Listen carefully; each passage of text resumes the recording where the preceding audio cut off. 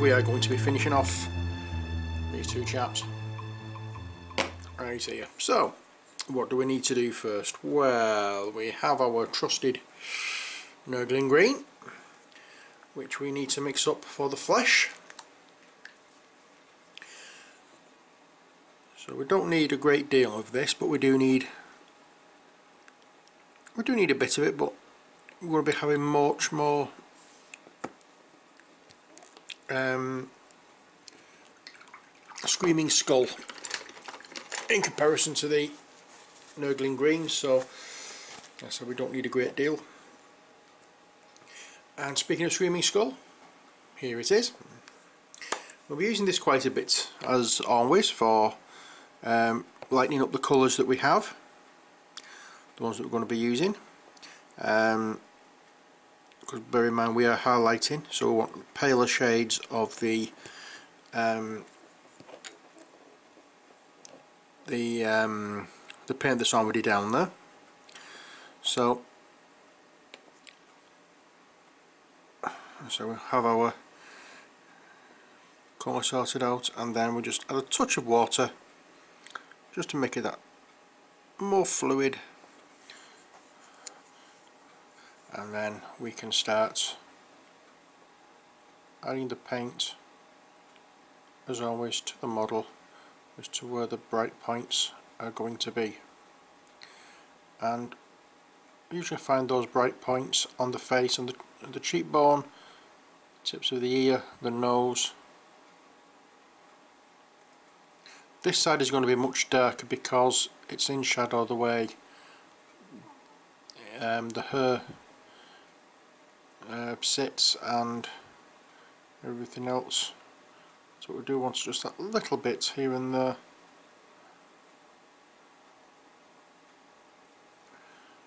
There we are. And then the hand and arm as usually happens is we find it on the top is much paler than underneath. So we'll just do a bit of a bit of a dry brush, not a full dry brush on that one. And here we need it to be on the back of the arm. That's where it's where it's showing. Um, on the edge of that little bit of a chunk that's been taken out, rotted away, and then just there will do. Oops gone off again. Let me just adjust the camera a touch. That's better. Find a place where I'm actually easy, um, what you call it, easy painting and holding the brush myself and I find that that's the place where usually off camera. So, which is when you're trying to um, show people how I paint something. It's not the best place. Never mind we're sorted now anyway. Okay so there's face, arms and feet done on that one. And we need the same again here. Again as you know in fact where I've done a little bit of the highlighting on the other one that is her so I'm going to be going over that again. So never mind. I've made a slight mistake on that but it's all good. We can sort it out. It's not a major earth shattering uh, problem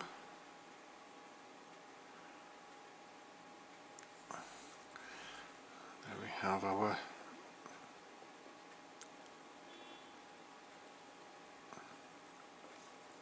um, flash done almost it's just the toes. Mainly the back of the leg on this one and I want to say back of the leg, back of the ankle. And that is really it for the flesh on this one. There's not much as I said on the first video. And I apologise on the first video for going off camera so often. Um, I don't know what I set the camera at the right place but for some strange reason it's dropped so I don't know whether I just hadn't tightened up the uh, the hot shoe on the uh, stand I'm using what I don't know but oh no it had a, it had dropped. Right next thing I want to do is just use the bit of black. In fact I'm not going to use a bit of black I'm going to use a bit of rhino in fact no not dark flesh. Uh, dryad bark I'm going to use. I'm going to use dryad bark and I'm going to go over this fella's hair that I made a mess of on the first bit of highlighting. Uh, I'm going to give this guy brown hair. So hair is going to be done again and it's just to disguise that bit of um, highlighting I did on the flesh what I thought was flesh which turns out to be her. I'm hoping you can see that okay.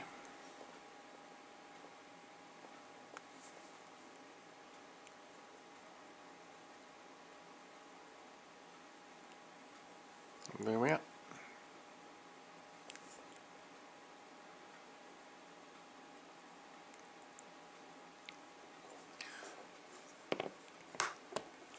Okay, so that's that one done. Next we'll be having our uh, let's do our t-shirts um, and which ones do we need? We need the ungor flesh and we need the rat skin flesh. ungor flesh for this one, rat skin flesh for that one. So we can do the shirt on that one, trousers on that. Okay, so let's rotate, spin that round so I can put some fresh paint out and this is the ungor flesh.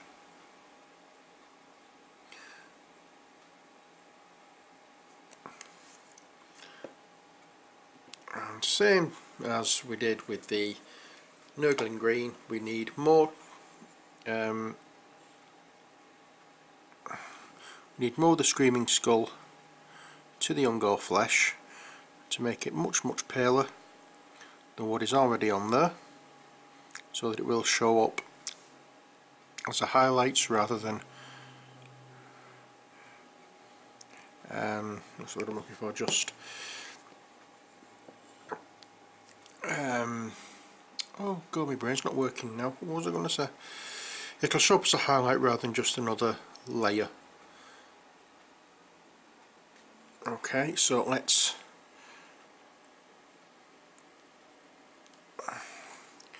get this done and it's here we need it around all the little areas of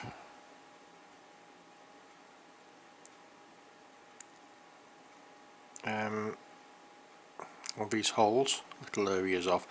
We need all over the holes. Um, anywhere that seems to be jutting up a little bit, like there for instance.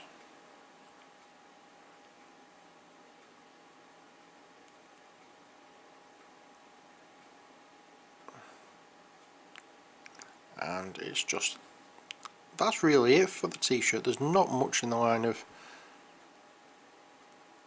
highlighting we can do on this unfortunately. But there we are. Now for the trousers of this fella.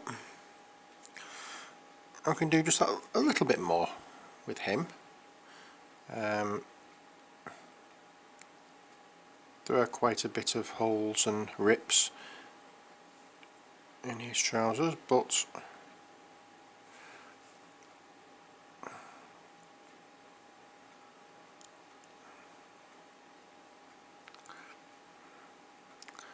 so you don't want a great deal of paint on your brush when you're doing this because you can actually almost get away with doing like a dry brush on it.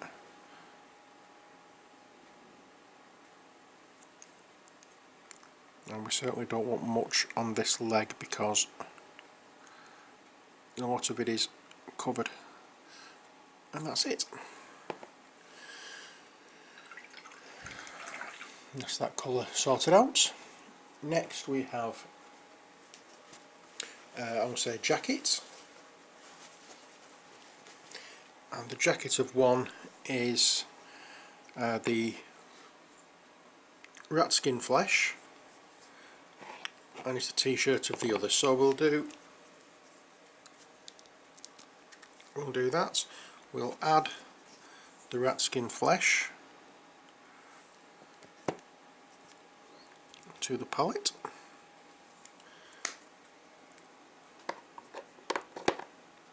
put the Ungor flesh back in the box. Then we'll get the Screaming Skull out and add Screaming Skull to the rat skin flesh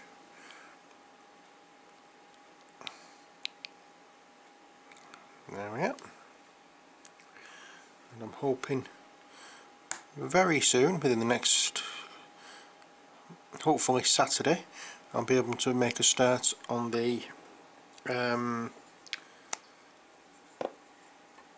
Ascension gameplay. So that's in a couple of days. It's the Games Club tomorrow night. So I'll be taking it there with me. And then once we've had a game there we'll get a game going. As a gameplay video. And then see how things go from there. As I say it's the it's a variant rule. It's not the actual way of playing that I will be doing. Um, for normal multiplayer rules it's slightly different. Um, but we will go through the variants together and with it being um, like more with it being uh, as I say a variant I'll go through the particular rules before I um, before I play uh, explain exactly how the variant rule works as I understand it anyway. And then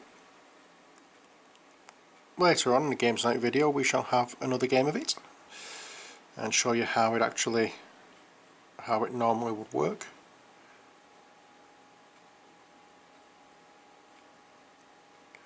But I'm looking forward to that one I say, I've not played it for a while but I remember the one time I, one time I played I really enjoyed playing the game which is unusual for me with card games. Um, and Ascension and uh, Sentinels of the Multiverse are two that one that I Ascension is one that I actually tried playing uh, with it being a card game I enjoyed. And Sentinels of the Multiverse is one that I've looked as though I would enjoy.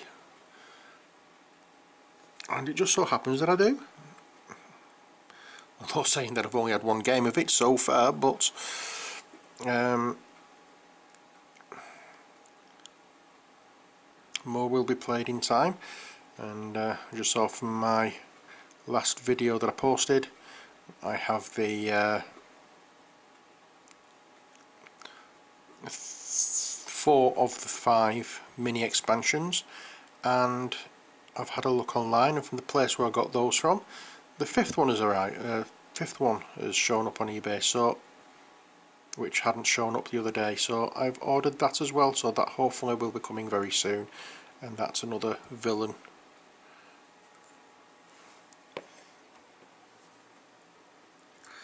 So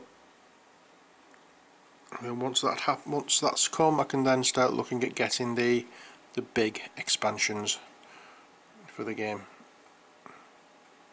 I think it's one that really needs on the expansion. Same with um, Ascension. There we are. That's really all I can get away with on that. And this, as I say, is the Steel Legion Drab. I could actually get away with using the Tallarn Sand as the highlight colour for this but I want to stick with doing what I'm doing which is mixing the colours to suit.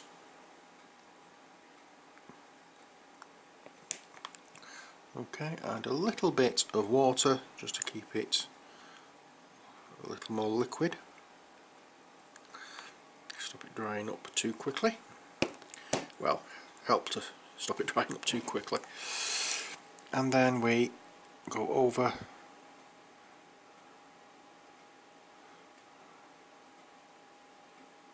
go over the trousers leaving obviously little bits here and there of the dark.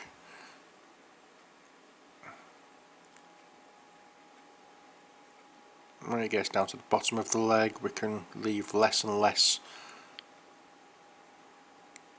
we need less and less of the paler colour because that's um, so that's the highlight we won't be having highlights with its shadow. So that's it.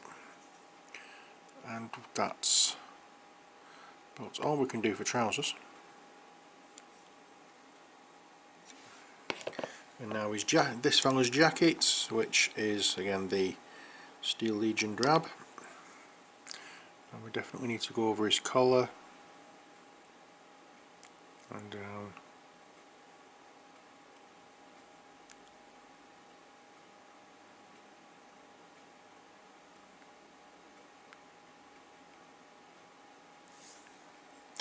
and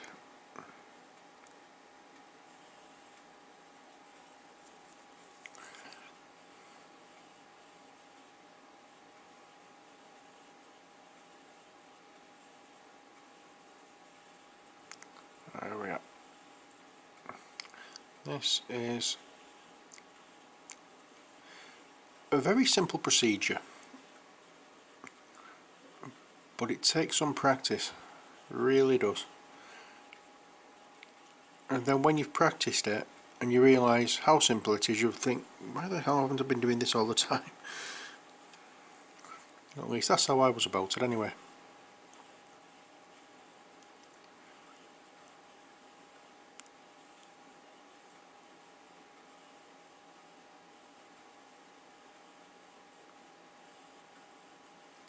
so as you can see it's just adding paler colour. Where you can see folds, where you can see it looks as though there's light hitting. And that's all highlighting is just bringing out the shadows giving it the depth that it needs to look right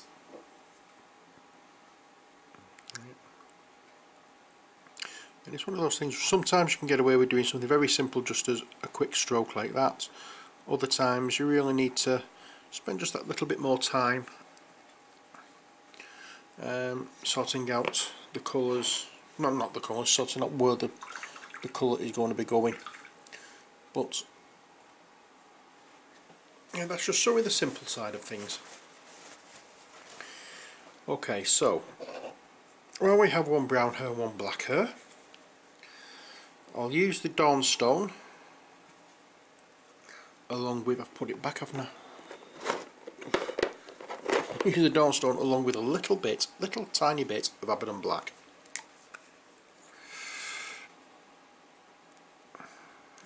Not much in there.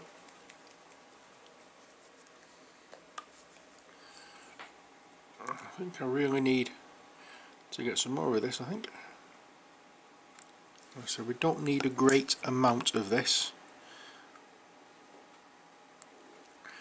but we need a lot more of the Dawnstone.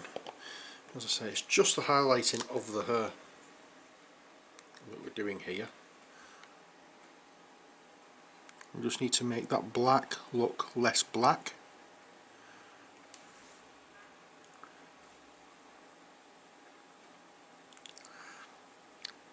unfortunately I've mixed a little bit too much well pulled out a little bit too much black. Um, I think what I need to do is pale it down even more and Dawnstone's not going to do it so I'm going to be using Administratum Grey. So give it a shake and then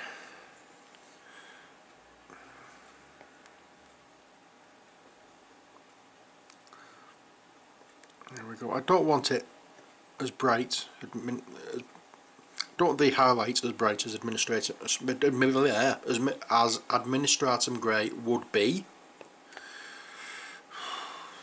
Sorry my brain's not working didn't I?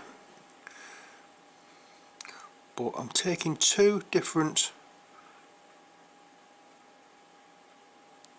um, bits of areas of paint here okay and you'll see why in a second. I'm going to wash my brush out dry my brush. Okay I'm going to take the darker of the two paints now onto the brush and just gently go over all the hair as stands. I'll try and get all the where I've caught it with the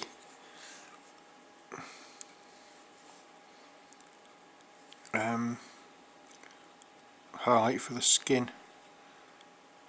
I should have gone over the hair with black again but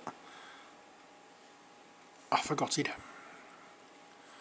So we'll do that. To make it look as though it's a little greyer. And then with the slightly paler come on with the lot with the whole lot paler rather colour. There's not much of this, this one but as I said we don't need a lot of it because all that's going to happen is I'm just going to do a couple of touches here and there. That is it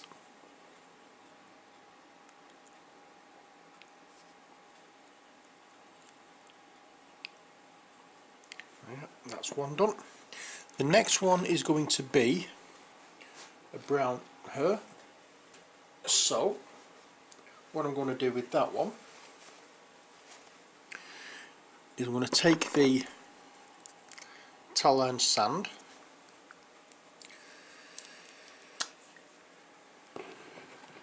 and use that as the highlight colour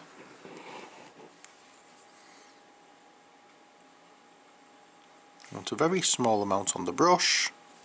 And then just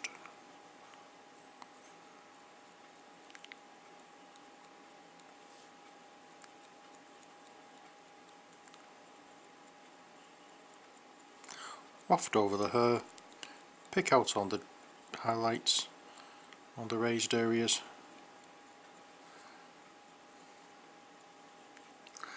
And there you go so that's those two done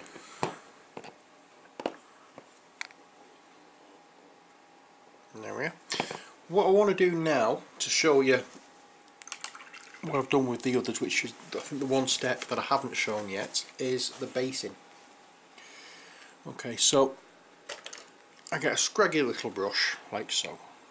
And I mean a scraggy little brush. Nothing special. This dark earth stuff from Vallejo, I've got off eBay. Um,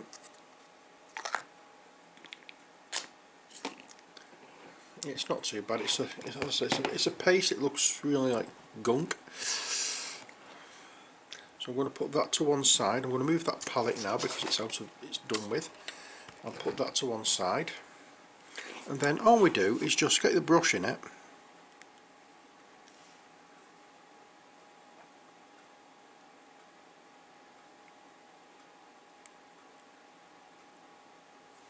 And put it onto the base.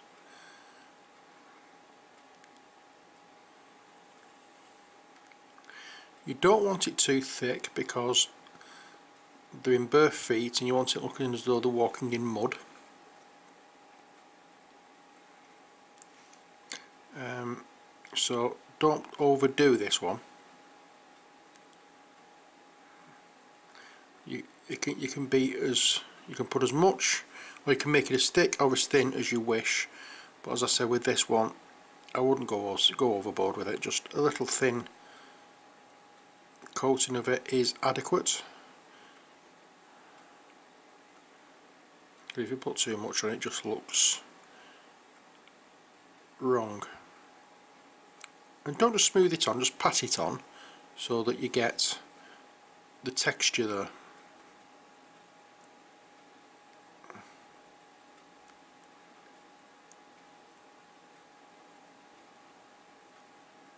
There we are. And that's one done completely. So you wait until that's dry. Wait until that's dry before putting the other on. Or before putting the other on, before painting it. So I'll just go over this again. Just slap it on and then just spend a little bit of time spreading it out and spread when you're spreading it out spread it out in little just dab it don't don't spread it as you would like with your paint just dab it on as though you're stippling something. That will give it the texture. As you can see hopefully.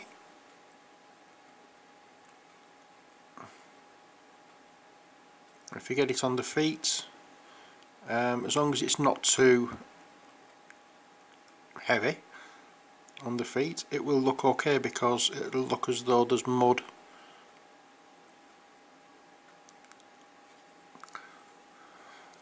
it will look rather as though they've been walking in mud. And eh, you can put a little bit here and there on the model if you wish just like that. Don't paint that bit just leave it to dry.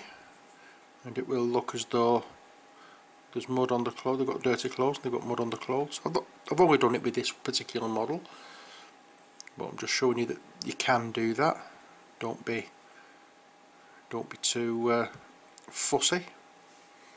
After all it is supposed to be dark earth. These are zombies so they will have been on the floor if not underground at some point before they became zombies. I just want to add a little bit more to this edge because it looks as though it's a bit too thin. But I'll say it's just with this stuff where you think just do it until you're happy with it. As I said don't don't brush it on. Try and stipple it so you get the ridges and the textures.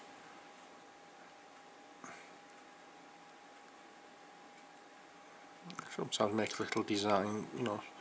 I sometimes do this little spiral thing with it to break it a little bit more. There you go. So all that remains for that one is to be painting it dark earth and then dry brushing over not dark earth. Um, oh, Rhinox hide rather sorry.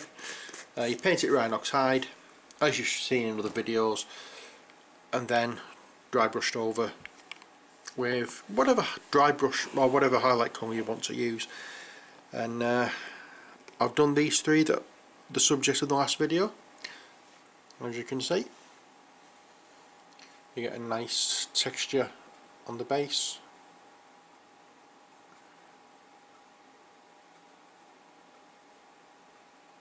there you go. And that's just using the Rhinox hide and then dry brushing over with uh, Screaming Skull. So we have all of the um, base set zombies done. We've even got the green ones done. They're in another I think they they are actually in the box I think. In fact no they're not. They're here on the table in front of me.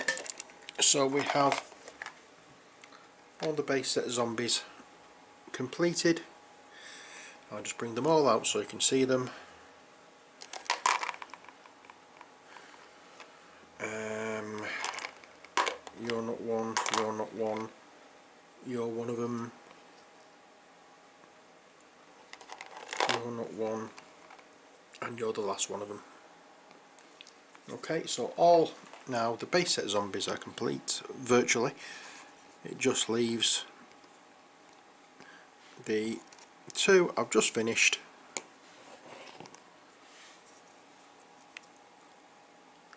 To dry.